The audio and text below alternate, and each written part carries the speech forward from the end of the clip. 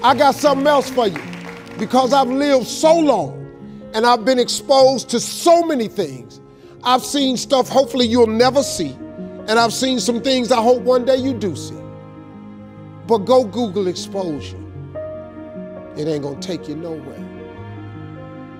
I've been around the world, man, because I've traveled it. But I traveled it because I, I made myself uncomfortable.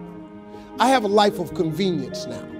But in order to get the life of convenience, you got to have a very uncomfortable life. You got to get comfortable being uncomfortable. Stop trying to do everything the short way. Stop trying to figure out the easy way because the ain't gonna happen. I got news for you, man. It's not happening, young people.